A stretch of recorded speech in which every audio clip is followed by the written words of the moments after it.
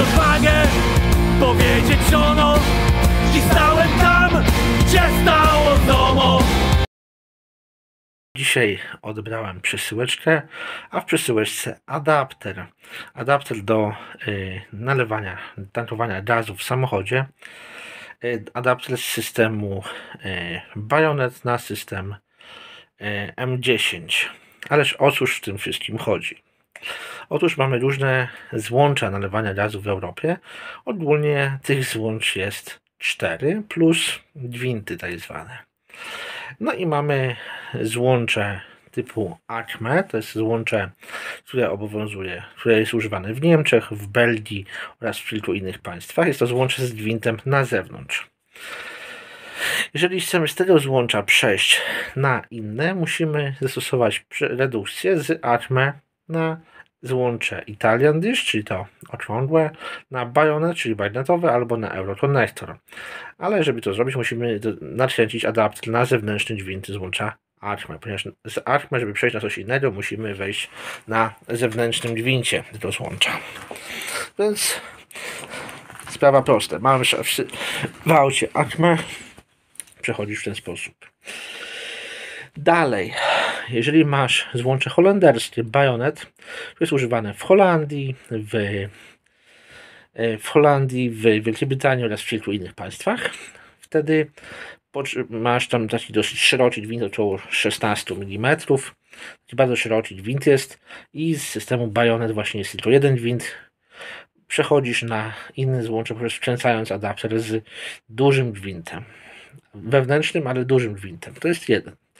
Jeżeli masz y, Euroconnector, też masz jedno przejście. Natomiast jeżeli posiadasz złącze typu Italian Dish, to wewnątrz masz gwint M10, M12 albo M14 i wtedy potrzebujesz przejście na system ACME, na Bayonet albo na Euroconnector z tym odpowiednim gwintem. Musisz wiedzieć, jaki masz, jaki masz gwint w instalacji.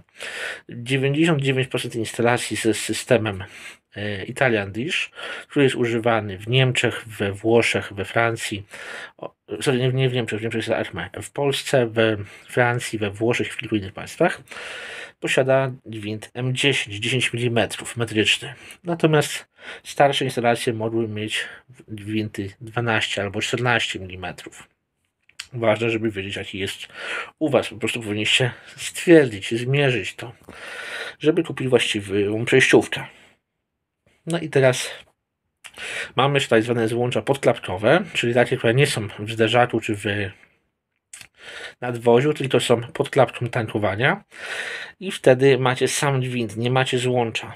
Jeżeli to będzie gwint M10, M12 lub M14, najczęściej M10 i wtedy potrzebujecie konwerter z M10 na Acme, na Bayonet, na Euroconnector albo na Italian Dish, ponieważ tam y, y, pistoletu Italian Dish nie podłączycie bezpośrednio. No i w momencie, kiedy, kiedy montujecie instalację gazową w samochodzie, jeżeli wlew jest w zderzaczu lub w nadwoziu, wtedy już jest gotowe złącze pod takim zaślepką odkręcaną plastikową.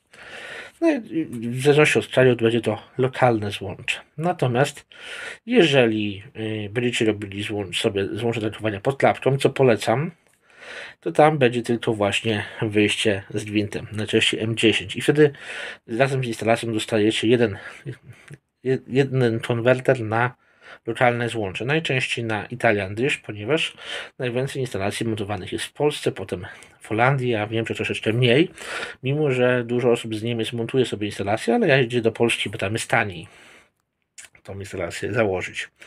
No i dostajecie jeden konwerter razem z instalacją, w cenie instalacji razem.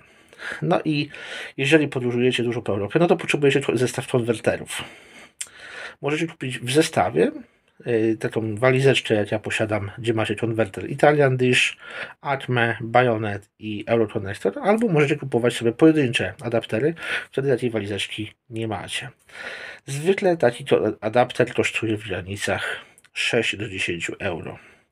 Od 5 do 10 euro kosztuje taki adapter. Lepiej się wcześniej wyposażyć w takie adaptery, ponieważ jest to bardzo, bardzo przydatne.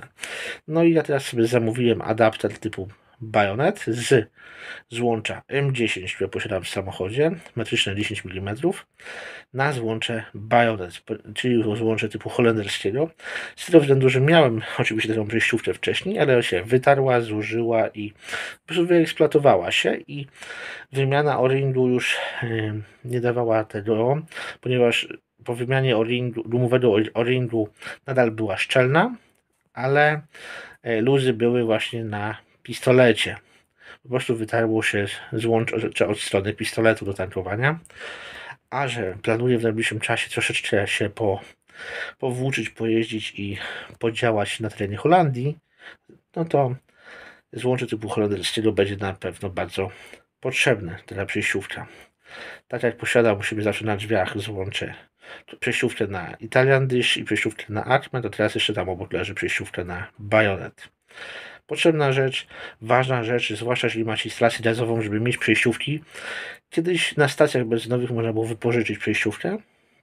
W tej chwili jest ten problem, żeby wypożyczyć przejściówkę, więc lepiej mieć swoją, dobraną pod swoją instalację. Zwłaszcza, że nawet jeżeli w danym kraju jest powiedzmy Atme, tak jak w Niemczech, to nie wiemy, ja nie wiem, czy ty potrzebujesz przejściówkę z M10 na Atme, z M12, z M14, które jest w Italiandy, czy ty potrzebujesz przejściówkę z Bayonet, z gwintem 16 mm na Atme, czy może z Eurokonektora. No ja tego nie wiem, a na stacji benzynowej no nie ma możliwości, żeby było 5, um, 5 konwerterów.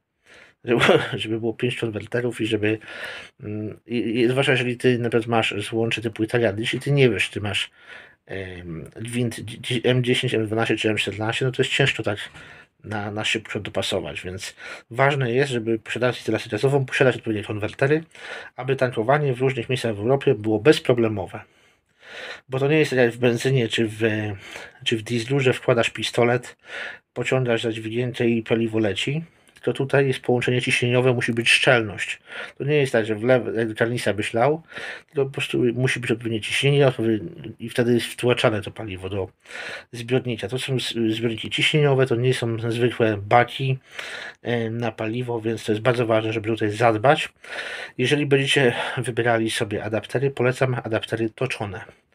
Nie odlewane, ponieważ w odlewanych czasami się zdarza, że ten gwint który jest po stronie instalacji, potrafi się odłamać, potrafi się uszkodzić. Różnie z tymi bywa z tymi odlewanymi adapterami. Dużo lepsze są adaptery toczone na tokarkach, są dostępne, troszeczkę droższe.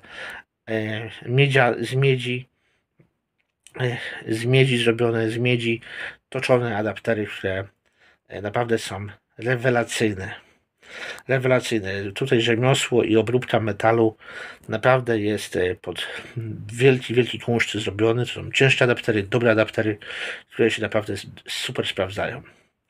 Trzymajcie się, buźka. Pa, pa. Kobiety chciałbyś zniewolić, pozbawić chciałbyś niewolnej woli.